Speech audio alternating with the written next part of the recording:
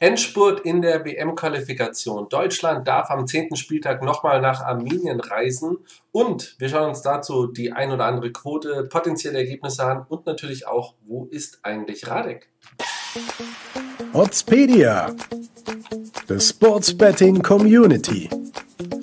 Um die wichtigste aller wichtigen Fragen gleich mal vorwegzunehmen, der Radek ist erkältet, kein Corona, die Grippe hat ihn erwischt. Vielleicht gab es einen heftigen Magenschwinger, da Deutschland dann doch mal so offensiv potent aufgelaufen ist gegen ja, die Liechtensteiner, gab es ja ein 9 zu 0.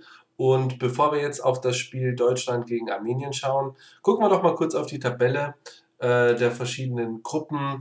Man, wir werden in den meisten Gruppen eigentlich das gleiche Bild sehen. Der Tabellenerste und Zweite sind deutlich vorne. Da ist nicht mehr für so viel Spannung gesorgt. Gruppe A, Portugal, Serbien weiter.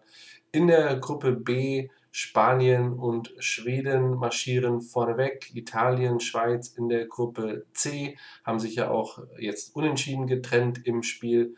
Frankreich, Ukraine, Finnland, da haben noch mehrere Teams tatsächlich die Möglichkeit, unter die Top 2 Plätze zu kommen.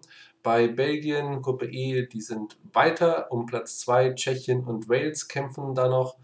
Gruppe F ja, die Ösis haben sich revanchiert gegen Israel, aber reicht halt dann auch nicht, dadurch, dass Schottland bei Moldawien 2 zu 0 gewonnen hat, ähm, geht da auch nicht mehr viel. In der Gruppe G haben wir mit Norwegen, Türkei auch nochmal zwei Teams, die beide noch weiterkommen könnten. Gruppe H ist ein deutliches Bild, Russland und Kroatien marschieren vorneweg.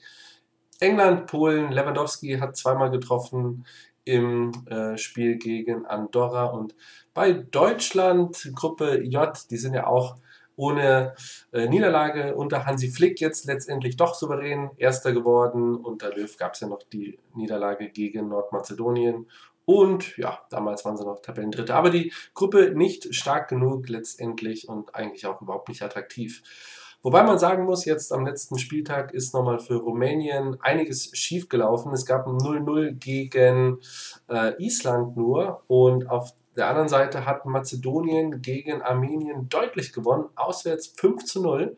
Beide oder alle drei Teams hätten ja eigentlich noch Zweiter werden können und jetzt hat auf einmal Mazedonien die besten Karten, die aber wiederum gegen Island spielen.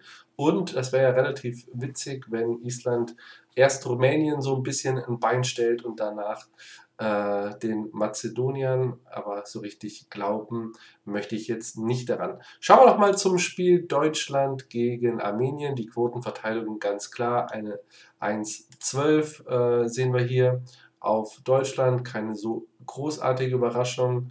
Habe es ja gerade eben schon vorweggenommen. Das letzte Heimspiel, also gestern, ne, hat Armenien gegen Mazedonien mit 5 zu 0 abzugeben, abgegeben. Deutschland 9-0 gegen Liechtenstein gewonnen, davor 4-0 gegen Mazedonien.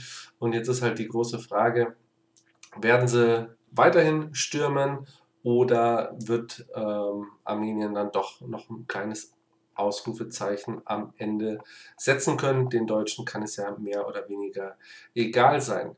Deshalb schauen wir auch gleich mal auf die Quoten, mal gucken, was die Line ist. Sowohl bei den Toren erwarten die Buchmacher ein deutlich äh, weniger torreiches Spiel als äh, beim Spiel gegen Liechtenstein. Da war ja die Line, glaube ich, bei Asian Handicap zumindest 5,5.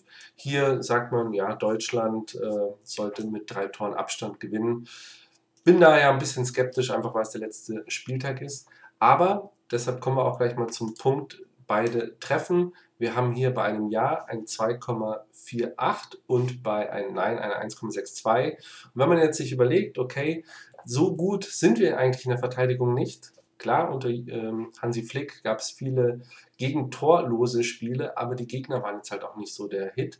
Und ja, letztes Spiel Sie haben jetzt 9-0 gewonnen. Vielleicht wird jetzt ein bisschen die Defensive vernachlässigt und Armenien macht dann auch seinen Ehrentreffer. Deutschland gewinnt das. Beide Treffen könnte eine spannende Geschichte sein. Ansonsten schauen wir auch mal, welches Ergebnis wir hier präferieren würden. Da habe ich Radik vorher gefragt.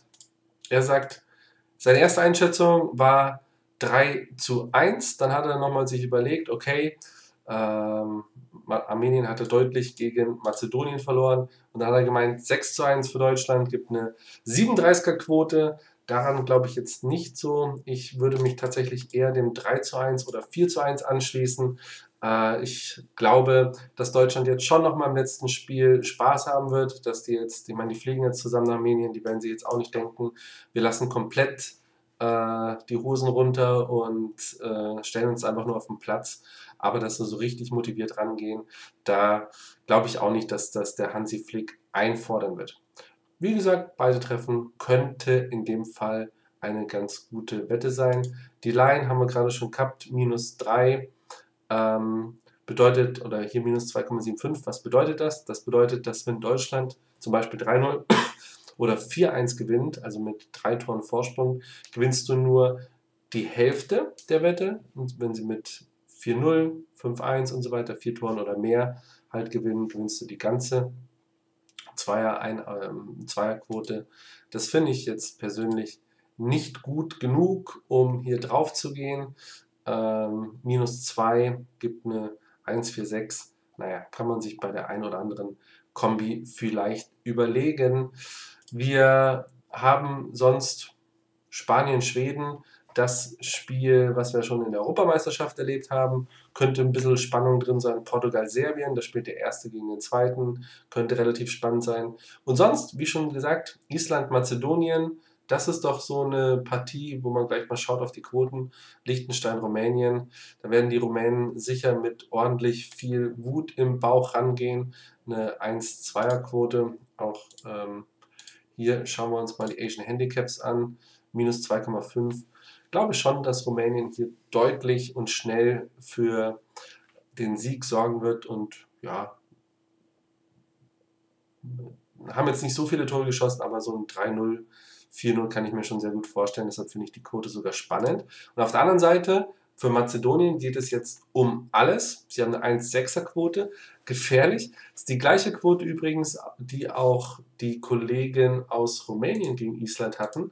Könnte ein Zeichen sein, dass auch hier wieder ähm, Island punktet und deshalb schauen wir uns gleich einmal die weiteren Quoten an. Vor allem würde mich bei diesem Spiel auch die Torwette interessieren, denn ich erwarte hier ein sehr, sehr torarmes Spiel. Bei 2,5 die Line äh, kann mir so ein 1-0, 0-0 tatsächlich am meisten vorstellen. Wenn jetzt sagt, Mazedonien äh, verkackt am Ende, kriegt man für x2 immerhin eine 2,5. Aber würde ich auch nicht empfehlen, weil dafür hat Island letztendlich eine zu schlechte EM-Qualifikation gespielt, WM-Qualifikation, und sind auch zu Recht nur noch vor Liechtenstein in der Gruppe. Ja, was ist euer Ergebnistipp für das Spiel? Schaut ihr dieses Spiel an oder freut ihr euch einfach auch auf die Bundesliga, die dann wieder weitergeht und dann haben wir eigentlich nur noch Freundschaftsspiele vor der Weltmeisterschaft in Katar und die ist ja dann eigentlich auch bald nächstes Jahr. Schreibt eure Kommentare zum Spiel und dann sehen wir uns wieder hoffentlich mit Radek an meiner Seite bei der Bundesliga wieder. Bis dann. Oddspedia, the Sports Betting Community.